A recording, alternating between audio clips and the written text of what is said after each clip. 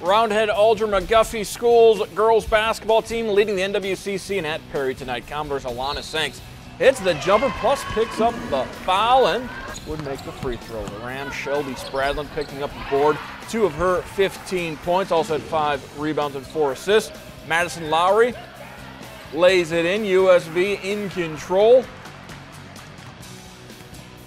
As the Rams, Casey Carroll just inside the three-point arc hits the two-pointer. And Emily Patton, big game for her, comes up with the steal.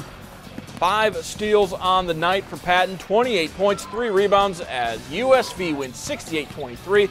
With the victory, the Rams clinch the outright NWCC title.